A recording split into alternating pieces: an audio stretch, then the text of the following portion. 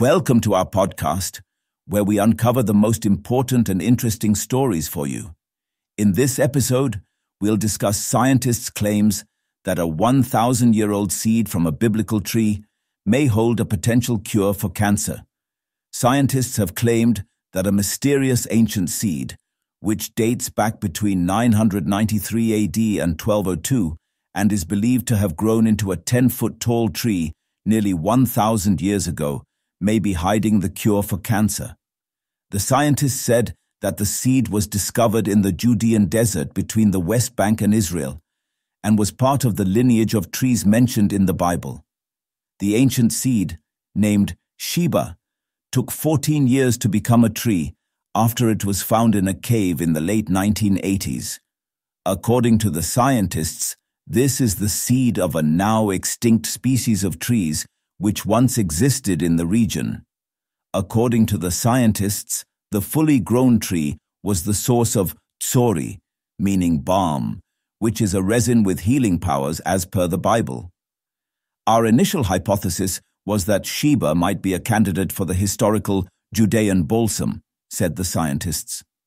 Scientists have observed that Sheba contains various medicinal properties.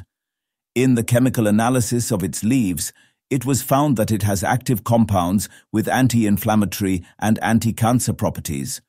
The scientists also found antioxidant and skin smoothing properties in its stems and leaves.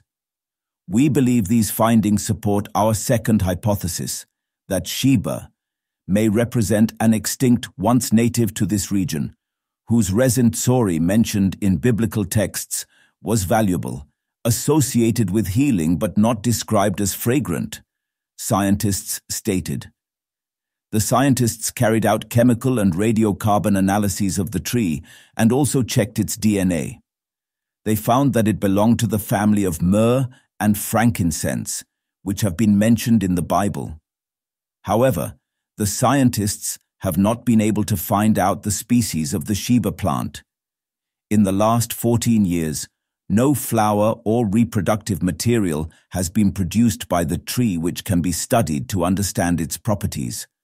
If Judean balsam survives today as an extant commiphora species, there remains the possibility that scientists have not yet recognized it, researchers stated. That's all from this podcast. Thanks for listening.